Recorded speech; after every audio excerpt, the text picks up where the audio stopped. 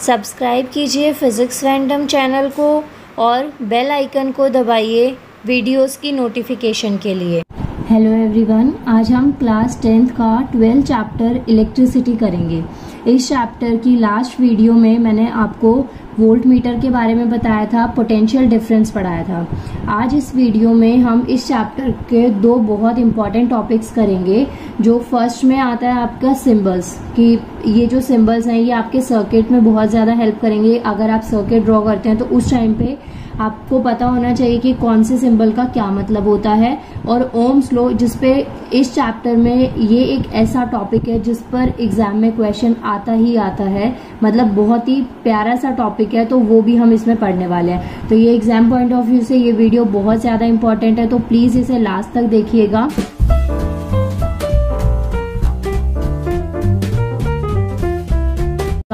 Now symbols, देखिए, इसमें मैंने पूरी प्रॉपर लिस्ट बना रखी है और इस वीडियो में हम जो भी पढ़ेंगे, वो नोट्स की फॉर्म में आपको पीडीएफ उनकी पीडीएफ डिस्क्रिप्शन में मिल जाएगी और इस चैप्टर की प्रीवियस वीडियो का लिंक भी आपको डिस्क्रिप्शन में मिल जाएगा। इस वीडियो से पहले आप एक बार प्रीवियस वीडियो प्लीज़ देखिएगा क्योंकि आपको ये टॉपिक समझ में नहीं आएगा। अब देखिए, यहाँ पे सिंबल्स हैं। मैंने आपको लास्ट वीडियो में बताया था कि सर्किट ड्रॉ करते वक्त हमें बहुत सारी चीज़ें चाहिए होती हैं। तो अब इस आ, कोई भी सर्किट आपके पास है तो उसमें क्या क्या कैसे दे रखा होता है? सबसे पहले आपके पास आता है सेल सेल देखिए ये सेल का सिंबल है इधर प्लस है और माइनस है. जब ये दो चीज़ें चेन में कन्वर्ट होती हैं जब एक इनकी चेन बनती है तो उसको आप क्या कहते हैं? बैटरी कहते हैं. ये ऑलमोस्ट सिमिलर होते हैं. बस ये कि ये साइज़ में थोड़े कम होते हैं और ये वाले इसमें सेल्स ज़्यादा हो जाते हैं. जब सेल्स कनेक्ट होते हैं सीरीज़ में तो उसको वो आपकी एक बैटरी बन जाती है. इसके बाद में नेक्स्ट है joint wire joint wire means की जो वायर है उसमें सर्किट में आपकी कनेक्टेड है। तो ये ऐसे सिंगल डैश और ऊपर से ये परपेंडिकुलर अब अगर वायर आपकी ज्वाइन नहीं है तो ये उसका सिंबल होता है। इट मीन्स कि सर्किट अभी आपका इनकम्प्लीट है। नेक्स्ट है की मीन्स स्विच की या स्विच आप दोनों में से कुछ भी बोल सकते हैं। अगर आपकी की ओपन है तो ये सर्किट होता है। बीच में इसमें डॉट नहीं होता। इन दोनों में से किसी भी एक सिंबल से आप की को ओपनली शो कर सकते हैं। अगर की क्लोज्ड है तो उस टाइम पे आप ये सिंबल यूज़ करते हैं। दोनों में डिफरेंस सिर्फ़ छोटा सा है कि बीच में यहाँ पे डॉट लग जाता है और ये आपस में कंबाइन हो जाते हैं। तो ये की ओपन है और ये वाली स्विच्ड है। मीन्स uh, कि ये क्लोज है। नेक्स्ट है बल्ब बल्ब के लिए आप ये सिंबल यूज़ करते हैं। एमीटर आपका मैंने बताया था कैपिटल ए लेते हैं प्लस और माइनस वही वोल्ट मीटर में आप वी लेंगे। ए मीटर नाम से ही ए आता है और इसमें वोल्ट मीटर की स्टार्टिंग किससे होती है? वी से। तो ए मीटर के लिए आपने ए लिया और वोल्ट मीटर के लिए आपने वी लिया। उसके बाद में नेक्स्ट आता है रेजिस्टेंस ये सिंबल होता है। सर्किट में ये रेजिस्टेंस कैसे ऐड होता है और किस तरीके से ये अभी हम ओम्स लॉ पढ़ेंगे और उसके बाद के जितने भी टॉपिक्स पढ़ेंगे, उसमें आपकी ये टर्म बार बार यूज़ होने वाली है। तो ये सिंबल्स आपको याद रखने हैं। रेजिस्टेंस और रियोस्टेट ये भी आपका ओम्स लॉ में ही आएगा। जब ओम्स लो पढ़ेंगे तो उसमें दोनों चीज़ें आपको ज़्यादा अच्छे से समझ में आएँगी। ये सिर्फ़ आपके पास सिंबल्स की एक लिस्ट है। रेजिस्टेंस के बाद में रियोस्टेट की बात करते हैं तो ये आपका रियोस्टेट है। दो तरीके से शो हो सकता है, या तो ऊपर से एरो या फिर ये एरो इसको क्रॉस करते हुए। तो ये थे कुछ सिम्बल्स और उनके डायग्राम्स की किस तरीके से आप को सर्किट में कौन सी चीज़ को आइडेंटिफाई करना है। और अब हम इस चैप्टर का बहुत ज़्यादा इंपॉर्टेंट टॉपिक करेंगे which is Ohm's law Ohm's law हमें जॉर्ज साइमन ओम ने दिया था नाइनटीन सेंचुरी में, जर्मन के थे ये। और अब क्वेश्चन ये आता है कि ओम्स लो की ज़रूरत हमें क्यों पड़ी या हमने क्यों ओम्स लो पढ़ना स्टार्ट किया? तो देखिए, आप सबने देखा हमारे घर में बहुत सारे डिवाइसेस होते हैं और आज के मॉडर्न एरा में जिस तरीके से हम टेक्नोलॉजी पे डिपेंड है तो हमें बहुत मल्टी वेराइटी के डिवाइसेस की ज़रूरत होती है। अब हर एक डिवाइस में कितनी वोल्टेज होनी चाहिए, कितना रेजिस्टेंस चाहिए तो उन सबको मेजर करने के लिए एक, हमें एक टर्म चाहिए थी, एक प्रोसेस चाहिए था कि किस तरीके से हम उसको पढ़ेंगे। जैसे हमारे पास डिवाइसेस में आप एग्जांपल ले लीजिए किचन की बात करते हैं किचन में हमारे पास ढेरों अप्लायंसेज होते हैं जो कि इलेक्ट्रिसिटी से कनेक्ट होते हैं। जैसे आपका केटल हो गया पानी गर्म करने के लिए जो यूज़ करते हैं, या फिर आपका मोबाइल फ़ोन हो गया लैपटॉप चार्जर या कोई भी ऐसी चीज़ जो इलेक्ट्रॉनिक डिवाइस होते हैं, उन सब में कितने लेवल पे वोल्टेज चाहिए, कितना रेजिस्टेंस चाहिए उन सबको कैलकुलेट और मेजर करने के लिए, जिससे वो डिवाइस अच्छे से चले और उसकी लाइफ भी काफ़ी ज़्यादा रहे। तो उसके लिए एक प्रोसीजर आया या एक लॉ आया जिसका नाम हमने दिया ओम्स लॉ अब ओम्स लो में, में जब ये जॉर्ज साइमन है इन्होंने दिया था इन्होंने क्या रिलेशन निकाला था? Between the current I current को आप आई कैपिटल आई से शो करेंगे। Following through a conductor obviously conductor से ही करंट फ्लो करेगा क्योंकि मैंने आपको बताया था कि जो कंडक्टर होते हैं उसमें इलेक्ट्रॉन्स फ्रीली मूव करते हैं और इंसुलेटर्स में इलेक्ट्रॉन्स मूव नहीं करते। And potential difference V across the terminal of the conductor using the circuit diagram इन्होंने क्या लिया था? करंट आई और पोटेंशियल डिफरेंस वी इन दोनों के बीच का रिलेशन निकाला था सर्किट डायग्राम के through he observe that the potential difference and current varied linearly इन्होंने एक चीज़ बताई थी कि जो पोटेंशियल डिफरेंस है और करंट है, वो डिफरेंट डिफरेंट पॉइंट्स पे वेरी करता है मतलब कि लीनियंटली वेरी करता है यूनिफॉर्म मोशन में. अब अगर आपके पास क्वेश्चन आता है ओम स्लो में आपको ग्राफ ड्रॉ करना है तो ओम स्लो का ग्राफ क्योंकि यहाँ पे लीनियरली लिखा हुआ है तो ऑब्वियसली इसका जो ग्राफ होगा वो हमेशा स्ट्रेट लाइन होगा मीन्स की ओरिजिन से लाइन पास करते हुए। ये वी वोल्टेज हो गया आई यहाँ पे करंट के लिए। अब इसमें देखिए V is directly proportional to I जब कभी भी ये वाला सिंबल होता है, इसको आप डायरेक्टली प्रोपोर्शनल बोलते हैं। डायरेक्टली प्रोपोर्शनल का मतलब होता है कि ये दोनों चीज़ों में से एक चीज़ भी अगर इंक्रीज करेगी तो दूसरी चीज़ ऑटोमेटिकली इंक्रीज करेगी। अगर एक चीज़ डिक्रीज करेगी तो दूसरी चीज़ भी अपने आप ही डिक्रीज करेगी। इट मीन्स अगर वोल्टेज इंक्रीज करती है तो करंट भी इंक्रीज करेगा मीन्स की बढ़ेगा। और अगर आपकी वोल्टेज कम होती है तो करंट अपने आप कम होने लग जाएगा। अब जो ये जो स्ट्रेट लाइन होती है, इसका जो स्लोप होता है वो इक्वल्स टू होता है आर के आर होता है रेजिस्टेंस रेजिस्टेंस क्या होता है? कैसे इसको यूज़ करते हैं? ये अभी मैं आपको आगे समझाऊँगी। फ़िलहाल अभी इतना देखिए आप कि ओम स्लो के लिए आपका जो ग्राफ होता है, वो हमेशा स्ट्रेट लाइन होता है। ये आपका वन मार्कर क्वेश्चन बन सकता है। अब ये देखिए आपका सर्किट डायग्राम मैंने आपको इस चैप्टर की पहली वीडियोस में एमीटर और वोल्ट मीटर दोनों सेपरेट सेपरेट पढ़ाए हैं कि किस तरीके से दोनों को कहाँ लगाया जाता है। एमीटर को हमेशा सीरीज़ में ऐड करते हैं और वोल्ट मीटर को हमेशा पैरेलल में ऐड करते हैं। तो ये देखिए, ये आपकी बैटरी हो गई, ये की हो गई है। यहाँ पे हमने इसको एमीटर को ऐड किया। अब जिस साइड बैटरी का प्लस है, उस साइड ये एमीटर का भी प्लस जाएगा और सेम प्लस माइनस और फिर जो आपने क्या लगाया वोल्ट मीटर तो वोल्ट मीटर कहाँ होगा? आपका हमेशा पैरेलल में। ये आप कंडक्टर लीजिए इंसुले सॉरी कंडक्टर लीजिए, चाहे रेजिस्टेंस लीजिए या फिर बल्ब लीजिए तो वोल्ट मीटर हमेशा इसके पैरेलल में होता है। अब इसके बाद में नेक्स्ट यहाँ पे आता है आपका ये जो टर्म दे रखी है, इसको क्या बोलेंगे? रियोस्टेट मैंने आपको ऊपर जब सिंबल्स बताए थे तो मैंने बताया था कि रियोस्टेट इस तरीके से बनता है और रेजिस्टेंस इस तरीके से बनता है। तो ये तो आपने देखा कि रेजिस्टेंस और रियोस्टेट को आपने सर्किट में कैसे यूज़ किया। अभी आगे हम पढ़ेंगे कि रेजिस्टेंस और रियोस्टेट होते क्या। तो ये ओम्स लो की कंडीशन थी V is directly proportional to I Ohm's law को, ये तो आपका ग्राफ हो गया जो वन मार्कर्स में आता है। इसके अलावा अगर क्वेश्चन आ जाए स्टेट ओम्स लो या ओम्स लो को आपको डिफाइन करना आ जाए तो आप उसको कैसे डिफाइन करेंगे?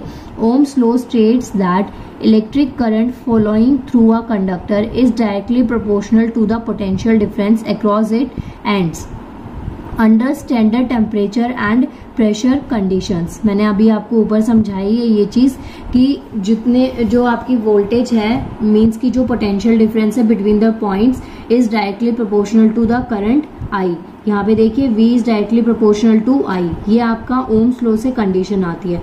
अब जो ये हमारे पास प्रोपोर्शनैलिटी साउंड है, इसको हटाने के लिए हम कोई भी कांस्टेंट यूज़ करेंगे। तो इसको हटाने के लिए कांस्टेंट यूज़ होगा आर क्यों? क्योंकि इसका जो स्लोप होता है, वो इक्वल होता है किसके? कैपिटल आर के। आर मीन्स रेजिस्टेंस के।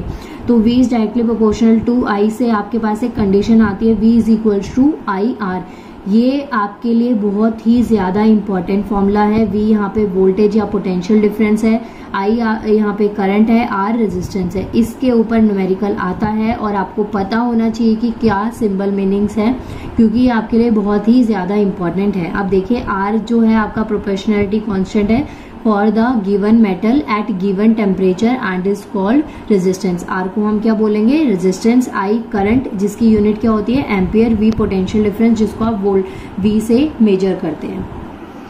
नेक्स्ट है रेजिस्टेंस रेजिस्टेंस क्या होता है? It is a property of conductor that observe sorry that opposes the flow of current it means कि रेजिस्टेंस आप कंडक्टर की वो प्रॉपर्टी होती है जो करंट के फ्लो को रेजिस्ट करती है मीन्स की रोकती है। It is represented by R and symbol is ohm. Resistance का सिंबल क्या होता है? ओम। एसआई यूनिट इसकी ओम होती है। इसके अलावा जो मैंने आपको पीछे फॉर्मूला डिराइव करवाया था, v is equals to I R तो उसी से आपका ये r equals to V upon में आई आ गया। अब जब यूनिट आई है, ऐसा यूनिट क्या है इसकी? ओम। तो वन ओम को डिफाइन करेंगे।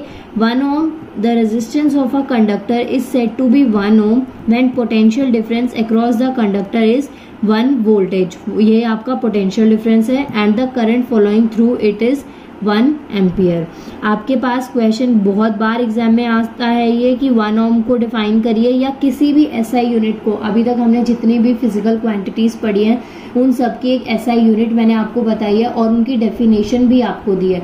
तो आपके पास एक क्वेश्चन वन मार्कर्स में आ सकता है कि कोई भी आपसे टर्म पूछ ली जाए, उसके एसआई यूनिट गिवन हो और उसको आपको डिफाइन करना हो। देन नेक्स्ट आता है रियोस्टेट रेजिस्टेंस और रियोस्टेट ये दोनों टर्म्स हमने सर्किट में यूज़ करी थी। रियोस्टेट का मतलब क्या होता है? It is an electronic device use to control the current by varying the resistance it means कि अगर एक पर्टिकुलर पॉइंट पे रेजिस्टेंस चेंज हो जाता है तो उस टाइम पे जो करंट उसमें फ्लो हो रहा है, उसको कंट्रोल करने के लिए हम एक डिवाइस यूज़ करते हैं, जिसको क्या कहते हैं? रियोस्टेट रियोस्टेट और रेजिस्टेंस दोनों आपस में टर्म्स रिलेट करती हैं। रियोस्टेट में हमेशा करंट कंट्रोल किया जाता है। इस डिवाइस की हेल्प से वहीं रेजिस्टेंस करंट को ऑपोजिट करता है, फ्लो ऑफ़ करंट को या तो रेजिस्ट करता है, मींस की रोकता है। रियोस्टेट के लिए भी वही v is equal to I R से आपका आएगा। I equal to V upon में आर ये आपका रिलेशन है। Through the shows that current through conductor is inversely proportional to its resistance जब कभी भी कोई टर्म इन्वर्सली प्रोपोर्शनल होती है तो इट मीन्स अगर एक टर्म उसमें से इंक्रीज कर रही है तो दूसरी वाली ऑटोमेटिकली डिक्रीज करेगी। इसका मतलब होता है कि टर्म्स आपस में ऑपोजिट हो जाएँगे। अगर इंक्रीज हो रही है एक साइड से, बढ़ रही है तो दूसरी साइड से घटेगी। वहीं अगर आपके पास टर्म आती है डायरेक्टली प्रोपोर्शनल तो इसका मतलब होता है जो टर्म अगर इंक्रीज कर रही है तो दूसरी वाली भी बढ़ेगी, और अगर पहले वाली कम हो रही है तो दूसरी वाली भी कम होगी। नेक्स्ट है जब हम इंक्रीज या डिक्रीज करते हैं करंट को accordingly in the circuit a component use is called rheostat means कि अगर आपका जो सर्किट है, उसमें कभी भी करंट को इंक्रीज या डिक्रीज मीन्स कम या फिर ज़्यादा करा जाए अकॉर्डिंग टू कॉम्पोनेंट या रेजिस्टेंस तो उसको कंट्रोल करने के लिए जो हम डिवाइस यूज़ करते हैं, उसको आप रियोस्टेट कहते हैं। That regulates a current without changing potential difference जो करंट को रेगुलेट करता है without changing potential difference potential difference means V को चेंज नहीं होने देता और ऑटोमेटिकली करंट को कन्वर्ट कर देता है। मीन्स कि करंट की जो फ्लो हो रहा है करंट फ्लो हो रहा है या चार्जेस फ्लो हो रहे हैं, उनको बिना स्टॉप करे ये करंट की फ्लोइंग को कॉन्टिनेशन में रखता है। ये आपके लिए बहुत इंपॉर्टेंट डिवाइस है। इसका सिंबल आर एच होता है, ये इसके सिंबल्स होते हैं। ड्रॉ करते वक्त मैंने आपको पीछे अभी बताया था इसको किस तरीके से ड्रॉ करते हैं। If a conductor has less resistance then more current will be flew flow through it अगर किसी भी कंडक्टर में रेजिस्टेंस कम होगा तो जो उसमें करंट फ्लो करेगा, वो बहुत ही ज़्यादा करेगा। नाउ नेक्स्ट टॉपिक है फैक्टर्स जिसके ऊपर रेजिस्टेंस डिपेंड करता है। इसमें हमारे पास तीन फैक्टर्स हैं जिनके ऊपर रेजिस्टेंस डिपेंड करता है। सबसे पहला आता है लेंथ लेंथ की अगर बात करें तो देखिए ये एक डायग्राम है। ये मैंने एक ट्यूब ले रखी है। ट्यूब में ये एल हो गया और ये जो सर्कल है। अब ये जो ट्यूब है आपको, इस साइड से सर्कल दिख रही है और इस साइड से ये ओपन सर्कल और इस साइड से ये क्या दिख रही है? बंद दिख रही है। नीचे जो ये बेस लाइन है, ये आपका लेंथ से शो करेंगे। जो ये वाला एरिया है, इसको आप बोलते हैं क्रॉस सेक्शन एरिया अगर फैक्टर्स की बात करें तो सबसे पहले वो डिपेंड करती है किसी भी जो आपके पास मटेरियल या सब्सटेंस है, उसकी लेंथ के ऊपर।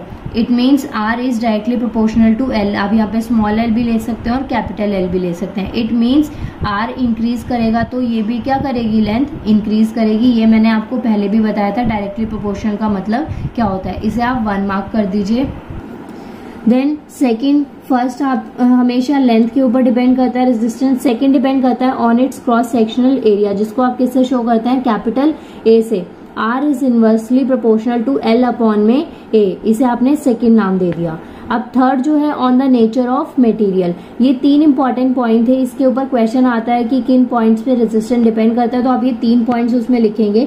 अब जो मैंने सेकंड पॉइंट लिखा है R is inversely proportional to L upon में ए और जो हमारा फ़र्स्ट पॉइंट था R is directly proportional to L इन दोनों से हमने एक रिलेशन निकाला है।